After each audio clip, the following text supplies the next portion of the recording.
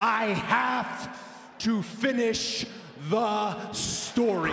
The fact is Cody Rhodes का एक तरह से पोपट काट दिया डब्ल्यू कंपनी ने and I don't know the match ये मैच कब होगा? Finally Roman Reigns versus the Rock का मैच रेसलमेनिया 14 फिलाडेल्फिया में आपको देखने को मिलने वाला है, और this is the main event but बात करें यहाँ पर Cody Rhodes versus Seth Rollins की तो आई थिंक नाइट वन का main event this is final एक तरफ़ वर्ल्ड टाइटल दूसरी तरफ़ अनडिस्प्यूटेड टाइटल और भाई साहब डब्ल्यू कंपनी ने पूरी तरह से प्लान चेंज कर दिया है और रिसेंटली चेंज किया गया है because after C M Punk injury अब दोस्तों बात करें कि कोडी रोड्स ने एक चीज़ कही थी। I finish my story but not WrestleMania this year so ये क्या चीज़ है? बिकॉज़ अगर वो सतरोलेंस के साथ जाने वाले हैं तो वहाँ वो टाइटल जीत जाएगा कोडी रोड्स तो स्टोरी तो वहाँ भी फिनिश हो जाएगी बट स्टोरी फिनिश करने का मतलब रोमन रेंस को हराना है। और ये बात मैं आपको बहुत बार बोल चुका हूँ कि Roman Reigns versus the Rock के मैच में रॉक हारेगा, जीतेगा नहीं। एंड रोमन रेंस को कोई ना कोई तो हराएगा टाइटल के लिए और वो होने वाला है कोडी रोड्स जी हाँ अब ये स्टोरी लाइन मैं आपको बताता हूँ क्या बनने वाली है। ध्यान से सुनना, सब चीज़ें मैं आपको बताने वाला हूँ क्या होने वाला। देखिए दोस्तों, आपको याद होगा डब्ल्यू कंपनी में हमेशा से दो टाइटल रहे हैं। कभी डब्ल्यू चैंपियनशिप कभी वर्ल्ड हैवीवेट चैंपियनशिप कभी W W world heavyweight championship कभी डब्ल्यू डब्ल्यू चैंपियनशिप कभी यूनिवर्सल चैंपियनशिप कभी W W undisputed universal championship तो आप समझ रहे हैं दिस इज़ डब्ल्यू डब्ल्यू का फंडा कि वो कभी भी जब एक बड़ा मैच बनाने की कोशिश करते हैं तो वो दोनों टाइटल को एक बना देते हैं। बिकॉज़ उससे क्या होता है, उनको एक बड़ा मैच मिलता है। दिस इज़ द रीज़न कि हमें एक बार देखने को मिला था सीना वर्सेस ऑटन का for the W W world heavyweight championship और दूसरी तरफ़ हमें देखने को मिला था Brock Lesnar versus Roman Reigns का अनडिस्प्यूटेड यूनिवर्सल टाइटल अब देखिए अब ये डब्ल्यू कंपनी क्यों करती है? जैसे कि मैंने को बताया कि बिगेस्ट मैच के लिए बिगेस्ट मनी मेकिंग मैच के लिए। अब कोडी रोड्स वसी रोमन रेंग्स इस साल होना था, लेकिन अब नहीं हो रहा तो अब उम्मीदें काफ़ी ज़्यादा हैं। या तो ये मैच समर स्लैम में होगा इस साल, या next year WrestleMania forty one में। बिकॉज़ रोमन रेंग्स को कोई ना कोई तो हराएगा ना। रोमन रेंग्स से कोई ना कोई टाइटल तो लेगा। रोमन रेंग्स का कोई ना कोई पिन तो करेगा। और पूरे डब्ल्यू कंपनी में सिर्फ़ एक ही बंदा है जो कि रोमन रेंस को हराएगा, जो कि डिजर्व करता है, वो है कोडी रोड्स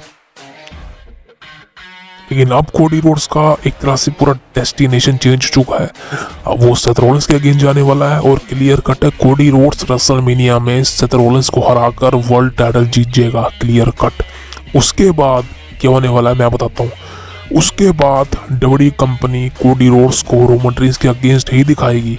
अब जैसे कि मैंने कहा कि या तो समर स्लैम या फिर रसमिनिया 41 एक एक और अनडिस्प्यूटेड टाइटल का मैच होगा और इस बार ये मैच होने वाला है कोडी रोड्स का वर्ल्ड टाइटल और रोमन रेस का अनडिस्प्यूटेड टाइटल यानी कि दोबारा से एक चैंपियनशिप का मैच यानी कि दोनों को यूनिफाई करके कोई एक टाइटल बनाया जाएगा जिस तरह से दो बार किया गया डब्ल्यू कंपनी ने।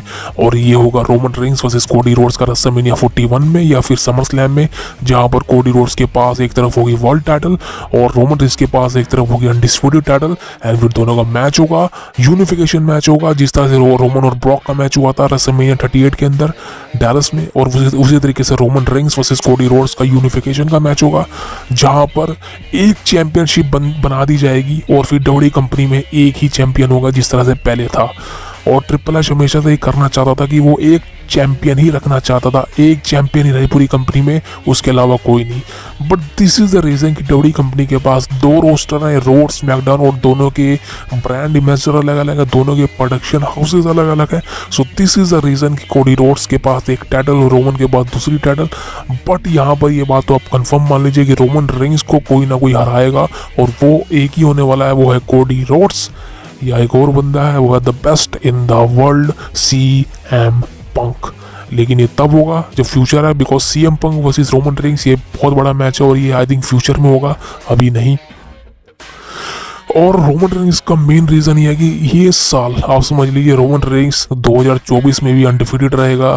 उसके बाद टाइटल रहेगा और यानी कि नेक्स्ट ईयर रसलमेनिया तक रोमन रिक्स टाइटल होल्ड करके रखेगा और हॉल्क होगन के रिकॉर्ड को भी तोड़ देगा वो। सो समझ सकते हो कि रोमन रेंक्स 2024 में भी नहीं हारने वाला अनडिफीटेड अनडिफीटेड ही रहने वाला है और रसलमेनिया 40 इन फिलाडेल्फिया भी अपने टाइटल को रिटेन करने वाला है। This is a state fourth WrestleMania होने वाली है, जिसमें रोमन रिक्स ने डायरेक्ट अपने टाइटल को रिटेन किया रसल मीनिया थर्टी सेवन में रिटेन किया था रसल मीनिया थर्टी एट में रिटेन किया था थर्टी नाइन में रिटेन किया था एंड अब रसल मीनिया फोर्टी में वो स्टिल टाइटल को रिटेन करेगा। भाई साहब, आप देख समझते हो कितना लंबा चैंपियन है, और रोमन रेंग्स होल्कोगन का रिकॉर्ड तो कि चौदह से दिनों का था, वो भी आसानी से ब्रेक कर देगा दो तीन महीनों में।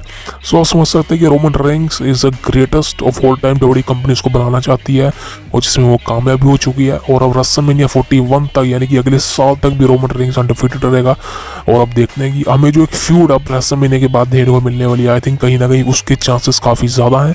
रोमन रिंग्स बनाम सोलो सिकोआ और रोमन रिंग्स बनाम जिम्यूस और रोमन रिंग्स बनाम काफ़ी ज़्यादा मैचेस हमें देने को मिलने वाले हैं। So this is the reason कि जो लोग सोच रहे थे मैं भी उनमें से एक हूँ कि रोमन रिंग्स का दी एंड होने वाला है रसमिनिया फोर्टी के अंदर।